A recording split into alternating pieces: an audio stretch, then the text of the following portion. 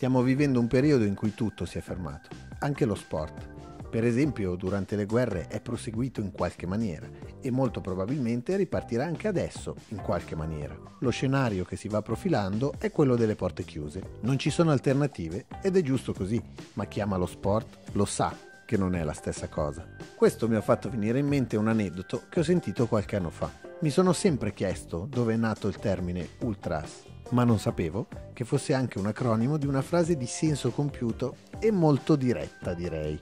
La parola ultras arriva dalla Francia del 1815, nel periodo della seconda restaurazione, ed indicava gli ultrarealisti che erano il partito preponderante e che possiamo paragonare all'estrema destra odierna.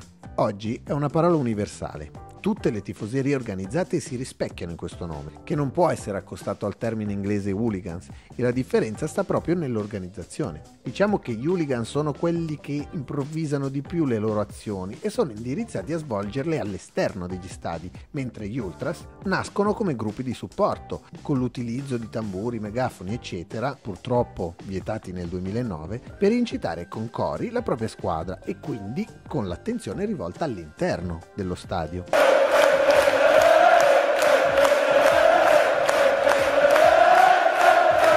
Calcio e politica si sono sempre mischiate. Infatti, i primi segnali di tifo organizzato si hanno addirittura nel 1932, con un gruppo di tifosi della Lazio, più precisamente della Paranza Aquilotti, che inscenò durante un derby una scenografia allo stadio del Partito Nazionale Fascista.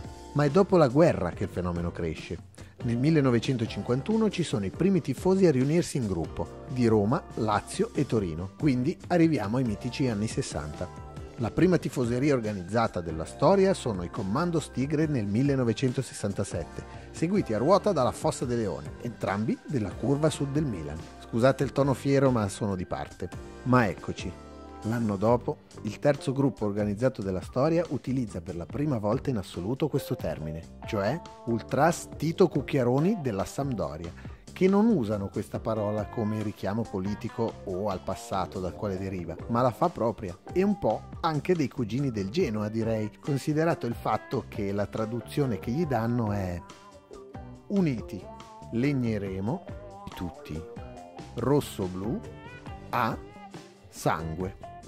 Metto in descrizione i link di tutto quello che si può trovare su YouTube, mentre qui vi cito il primo film a riguardo, Ultra di Ricky Tognazzi con Claudio Amendola e Ricky Memphis del 1991, ma anche l'ultimo, Ultras, di Francesco Lettieri, film di quest'anno e che consiglio vivamente.